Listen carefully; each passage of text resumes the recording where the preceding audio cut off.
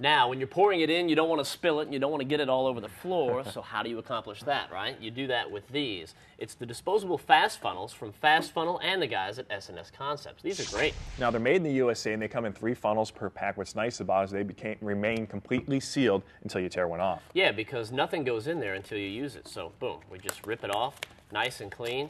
And you look at that, there is nothing in there, so you're not going to get any contaminants in the engine. Now, my grandfather had the funnel that he used for about 20 years. It would hang up on the nail in the garage.